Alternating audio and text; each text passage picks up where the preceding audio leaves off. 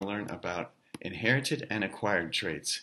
We've already done quite a bit with inherited traits, so we're mostly learning what acquired traits are. So as you can see in this picture, we've got some giraffes that look very similar because they inherited most of those traits from their parents. Sorry about that. What are traits? Traits are observable features of an animal or plant. These features can be used to describe a plant or animal. These features can help an animal survive, grow, and reproduce. Inherited traits, these are the traits we've been learning about.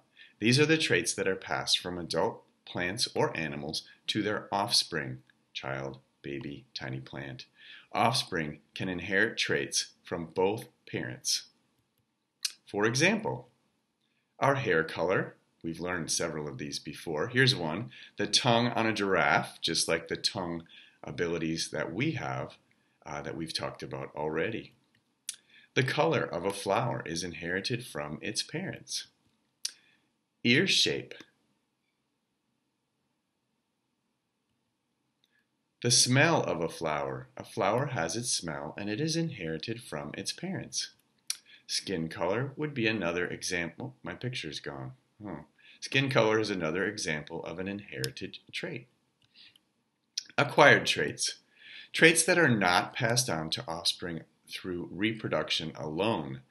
These are traits that are learned, changed, or added later. For example, some acquired traits are things like pierced ears. This person wasn't born with a hole and a diamond in their ear. That's something they added later on. Having a favorite sport or skills in sports. Those are things that we learn after we're born. No one is born with specific skills for sports or even having a favorite sport. Diseases on plants. Many of them are acquired later. There's something that happens from the environment. Scars. Oh, this doggy has a scar, and that is something it acquired. Its parents won't have that same scar. It's something that it has happened after it is born. Being able to read is an acquired trait. If you are able to read, it's not something you knew how to do when you were born. Same thing with talking, actually. You were not born being able to talk, but you learned it later. Those two things, reading and talking, are acquired traits. This tree has been struck by lightning, and that is damage from the weather. It was not born with that scar on it, it acquired it later. It's an acquired trait. Quiz time. Decide if each picture is an acquired trait or an inherited trait. Ooh, this tattoo. Was she born with that tattoo or was it acquired later? Hopefully, you know that she acquired it later. Having the ability to write. That is another acquired trait. The length of the horns on this animal, that is an inherited trait. Its parents would have had large horns also. The number or pattern of the seeds in this plant, that's an inherited trait. It got it from its parent plant. Wind damage. This tree is in an environment that has caused it to look like this. It is an acquired trait from where it lives. And football, being able to play football, is an acquired trait, not inherited. The fur color on these dogs, that is an inherited trait. The puppies are the same color as their mother, inherited from their parents. Big muscles having muscles is uh, you're born with muscles, so that's inherited, but getting them to be bigger, like these two ladies here, that is something that is an acquired trait. They worked hard to build those muscles. The taste of a piece of fruit. What does the fruit actually taste like? That is an inherited trait. The fruit will taste like the fruit from the adult plant the parent plant. The leaf color is also an inherited trait.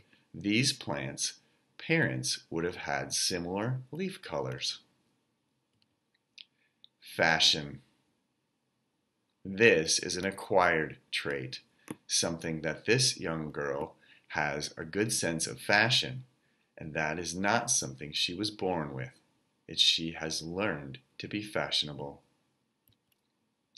Thorns on a rose plant would be, I hope you're thinking inherited trait, something they got from the parent plant. And the shape of the leaf or the seed on these pictures would also be inherited traits. The adult plant passed these traits on to their baby plants. Being able to play a musical instrument, that is an acquired trait, something you have to practice to be able to play a musical instrument well.